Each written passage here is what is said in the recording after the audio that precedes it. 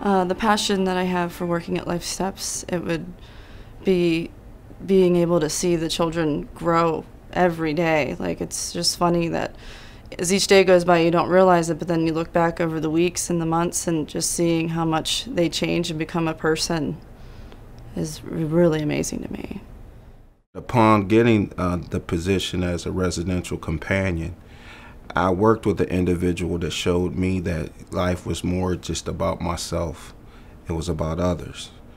And as I started to gain a relationship and a great rapport with this individual and just seeing his struggles, I could see myself in this individual. And as I started to see myself into this individual, we began to have a relationship like no other before. So the passion that lies within myself is the passion that Lifesteps has always instilled in me when they hired me to love my fellow man and to love people for who they are and to give them the hope that Lifesteps has given me with the opportunity to serve. I'm passionate about Lifesteps mission because um, I, first of all, I truly care about the individuals we serve and the families we serve.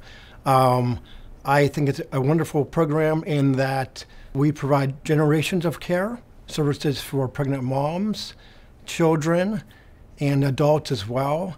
And to me, that's what's most important is providing a level of care, quality of care that is um, unlike any other program.